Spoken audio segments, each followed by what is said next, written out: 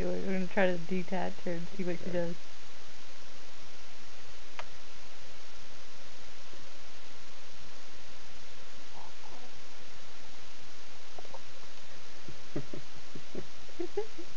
I hope my face is clean.